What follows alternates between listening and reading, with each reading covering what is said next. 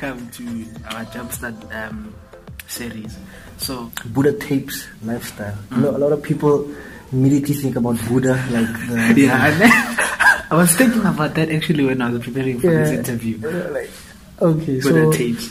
no, where I'm from in Mafeking, like the lingo, Mafeking's got like its own type of lingo, like any other place. Yeah, all the And townships all have. the townships Yeah, have the- yeah.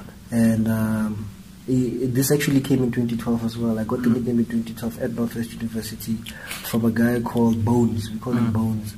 And Bones. yeah, Bones really loved calling everyone Buda, like Buda Labs, Buda Camps, Mm. Buda Tapes, Yeah. Buda KB, you know, Buda Ndava, Buda Mpewisi.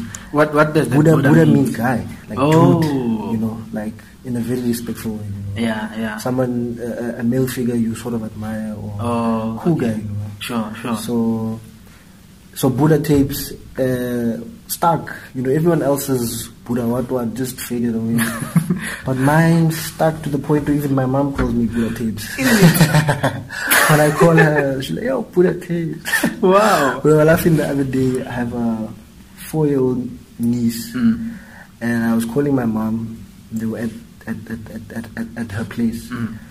and, uh, and then I asked to speak to to the little girl, and she's like, "Buda, Buda!" And the whole house crashed in laughter. You know? Yeah. So yeah, it, it, it stuck to the point where even my family. Okay, and then and then now, how did that translate to the clothing brand that Uh, you have now? So how how I decided to call my clothing brand Buda Tapes Lifestyle Mm. was very simple. Uh, I like listening and reading about Jack Ma, Mm. and when he Yeah. wa- and when he was asked why, um, kind of what's the name of his company? Jack Ma's got this company with this cool name, and it's a simple name. It's got no meaning at all. Yeah. Uh, Jack. Ma's company is called, I, I remember it just now. And they asked him, Alibaba. Alibaba. Yeah. They asked him, why Alibaba? And he says, it's catchy. it means nothing. It's just a cool name. Yeah. Difficult to forget. And Buda tapes vibes, bro. Yeah, know? no, that's true. I know. I know. Take it from me. I know. So Buda tapes lifestyle, you know, there was, Mm. it was without a doubt, man. Yeah. I've, uh, I'd always imagined it to be beyond a nickname, Mm. to be a brand. Great. Because it flows off, it vibes, and Mm. it's catchy, and that is what branding is about. It's not Mm. complicated. We complicate Sure. things. Yeah, true. Find meaning. All of the concepts Yeah. that I, I take out probably uh, a bit more extensive than that.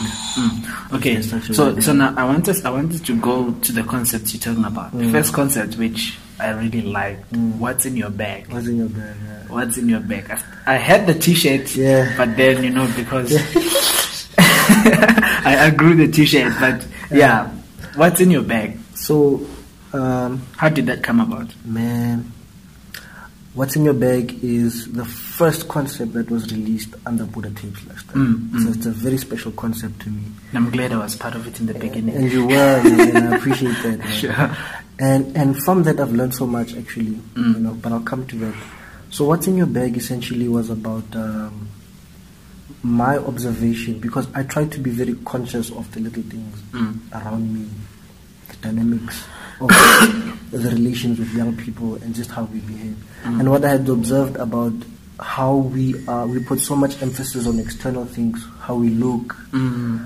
uh, we walk around sort of to say with rulers measuring the height of things Mm. when life is about substance when we're supposed to be carrying scales Mm. to measure the weight of things Sure, that's that's deep, man. and Yeah. and and and that's why you you it is easy in today's world to succeed based on how you look Mm. or to be depressed based on what on, on how you, or how things appear or how things look because we put a lot of emphasis on external things Mm, mm. and we neglect our gifts Yeah. because it is your gift that will make room for you amongst you Sure. not how you look